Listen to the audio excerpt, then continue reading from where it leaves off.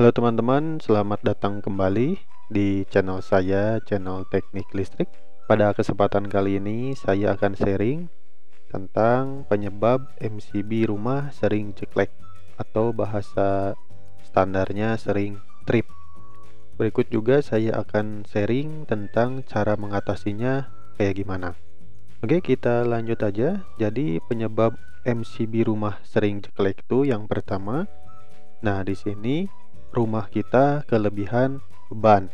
Contohnya kelebihan beban tuh kayak gimana? Jadi, peralatan-peralatan elektronik ini menyala secara bersamaan. Sehingga ketika sedang menyalakan semuanya, maka otomatis untuk MCB yang KWH utama ini akan jeklek. Jadi pasti teman-teman semua pernah ya di saat sedang menanak nasi, terus kita pengen menyalakan pompa air juga.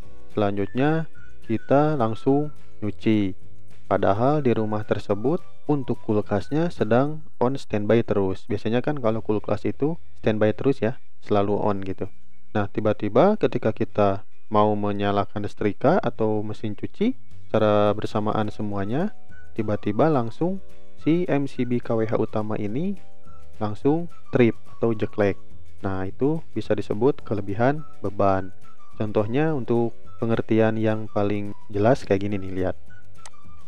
Nah, di sini kan contohnya saya mempunyai daya rumah sekitar 1300 volt ampere yang di mana untuk 1300 volt ampere ini di MCB KWH meternya terpasang 6 ampere. Nah, apakah 6 ampere ini sanggup untuk menahan semua beban ini? Jawabannya ya tergantung daya dari mesin cuci sama kulkas dan alat-alat elektronik ini. Dan saya contohkan, saya akan menanak nasi. Setelah menanak nasi, kulkas ini kan standby terus ya. Standby on terus dan tiba-tiba saya ingin menyalakan pompa air. Ketika ketiga buah ini masih kuat, nah sekarang saya akan mencuci baju. Ketika di-on-kan, mesin cucinya, maka dayanya akan berlebih. Berlebihnya berapa? Ketika arusnya melewati 6 ampere. Ketika melewati 6 ampere, maka otomatis untuk MCB KWH utama ini akan jeklek. Nah, kayak gitu untuk simulasinya. Untuk solusinya gimana supaya tidak jeklek? Untuk solusinya itu kita harus memanfaatkan atau menyalakan satu persatu. Maksudnya satu persatu itu bukan dinyalakan semua. Jadi sesuai kebutuhan kita. Contohnya, kita ingin anak nasi, terus kita ingin menyalakan pompa air, maka nyalainlah itu dulu. Ketika sudah beres, baru kita bisa mencuci baju dengan mesin cuci atau menyetrika. Nah, kayak gitu solusinya. Kalau pengen solusi yang lebih bagus lagi ya teman-teman bisa menaikkan daya rumahnya. Contohnya dari 1300 ke 2200 bisa silahkan. Karena ampere yang terpasang di MCB KWH itu kalau 2200 mah sekitar 10 ampere. Maka untuk bebannya bisa pas gitu tidak terjadi ceklek lagi. Tapi kalau teman-teman pengen kulkasnya 5 walaupun daya 2200 ya akan ceklek juga gitu. Jadi itu ya untuk solusinya. Untuk selanjutnya Nomor 2 yaitu instalasi rumah terjadi short circuit. Maksudnya dari short circuit ini biasanya terjadi pada yang pertama stop kontak terbakar.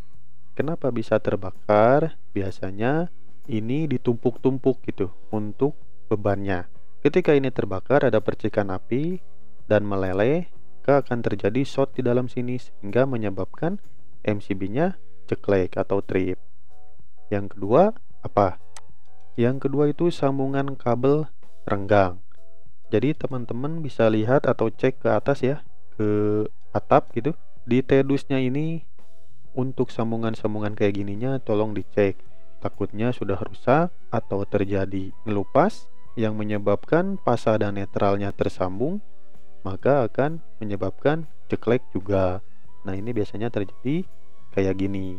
Nah, untuk solusinya kayak gimana? Untuk solusinya itu, teman-teman untuk stop kontak itu pakai yang sesuai standar saja.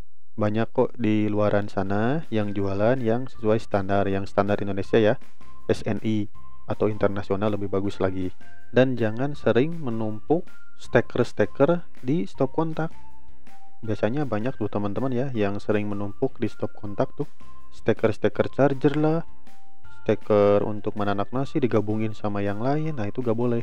Jadi saya harap untuk yang stop kontak ini kan hanya satu atau dua itu dicukupkan buat satu beban saja jangan ditumpuk-tumpuk oke?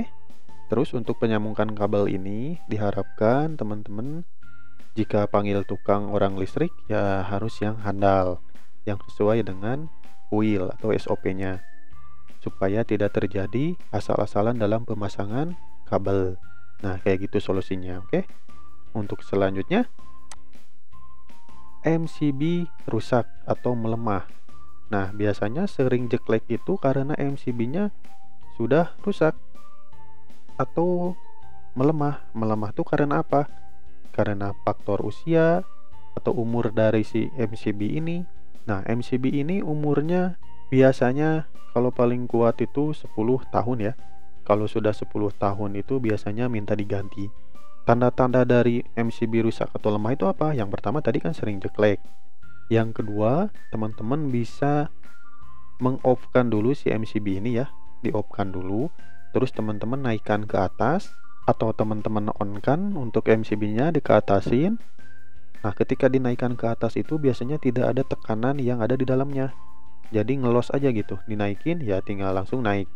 Bentar lagi turun lagi gitu trip lagi nah kayak gitu jadi kalau misalnya terjadi kayak gitu teman-teman bisa langsung saja yang pertama, langsung minta ganti ke PLN.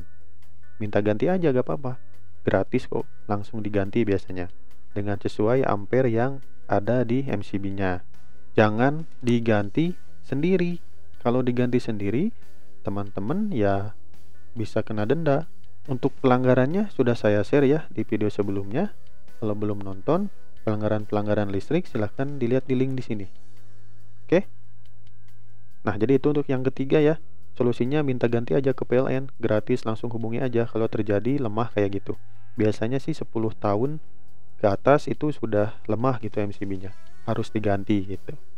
Oke, jadi baik hanya segitu ya untuk sharing dari saya. Kenapa sih MCB itu bisa jelek gitu di rumah itu? Nah, kayak gitu. Jadi solusi-solusinya sama penyebabnya sudah saya share. Kalau ada yang belum paham, silakan komentar di bawah. Semoga bermanfaat. Terima kasih. Ditunggu video saya yang selanjutnya.